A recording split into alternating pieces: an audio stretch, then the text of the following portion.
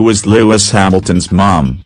Publicity-shy Carmen Larbalestier seen celebrating with Mercedes star as he secured his fourth F1 world title.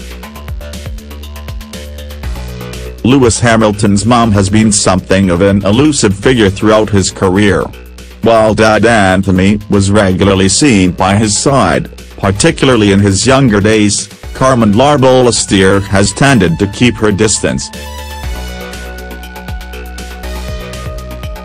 Lewis Hamilton celebrates his world title with his mum in Mexico Paw Press Association. Lewis Hamilton celebrates his world title with his mum in Mexico. But Hamilton's mum was in the paddock to see him win a British record fourth world title in Mexico. Who is Lewis Hamilton's mum? Carmen Larbalestier was born in 1955. In 1985 she gave birth to Lewis Hamilton, but her and his father Anthony separated when he was just two years old.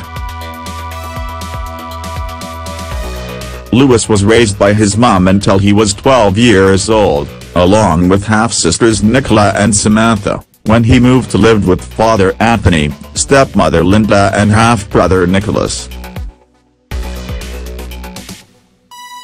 Lewis Hamilton meets swimming pigs on beach prior to Brazilian Grand Prix. How is Lewis Hamilton's relationship with his mom? Lewis Hamilton has an excellent relationship with his mom. While she has been out of the limelight, she has made appearances at some of the bigger races.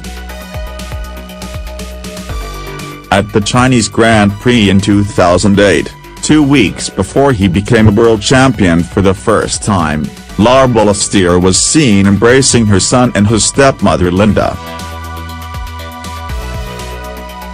and Hamilton's mom shared another hug with him after he secured his fourth world title in Mexico. The world champ also went to the trouble of holding a surprise 60th birthday party in London in 2015 and getting Jessie J to sing for it. Hamilton shared a number of pictures from the party on his Instagram account with one captain saying, so much planning and hard work, all to surprise the most amazing woman in the world, and it was so worth it. Love you mom.